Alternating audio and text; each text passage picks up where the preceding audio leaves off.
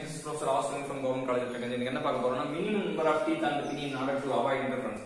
இன்டர்ஃபரன்ஸ்ன்றது ஒரு tip of the gear வந்து பினியனை கடிச்சு அப்படியே கடன் எடுக்கிறது தான் இன்டர்ஃபரன்ஸ் சொல்லுவாங்க. இது பதினாலு டிகிரி பதினாலு டிகிரி ஃபுல் டெப்த் சிஸ்டத்துக்கு என்ன வரும்னு கேட்கறாங்க ஃபார்முலா ரொம்ப சிம்பிளா தான் two pi sine square alpha அப்படின்னு தான் ஃபார்முலா மினிமம் டீத்துக்கு சைன் ஸ்கொயர் ஆல்ஃபால பதினாலு ரப்படம் நமக்கு முப்பத்தி ரெண்டு இது இருபது டிகிரியா இருந்தா பதினெட்டு வரும். எனக்கு இருபது உனக்கு பதினெட்டு மாதிரி. எனக்கு பதினாலரை உனக்கு முப்பத்தி ரெண்டு அப்படின்னு ஞாபகம் வச்சுங்க what is the term use the gear arrangement to define the amount of the tooth space exit the thickness of the engaging tooth இப்போ டூத் ஸ்பேஸ் ஆனது டூத்தோட அந்த ரெண்டு டீத்துக்கு நடுவில் உள்ள ஸ்பேஸ் ஆனது டூத்தை விட கொஞ்சம் பெருசா இருக்கும். அந்த பெருசா இருக்கிற இடத்துக்கு பேர் என்ன அப்படின்றாங்க லீடா பேக்லாஷா ரன் அவுட்டா பிக்சரா நம்ம இத வந்து பேக்லாஷ் அப்படின்னு சொல்லுவாங்க. அந்த டூத் ஸ்பேஸுக்கும் The difference between tooth space and tooth thickness is known as backlash.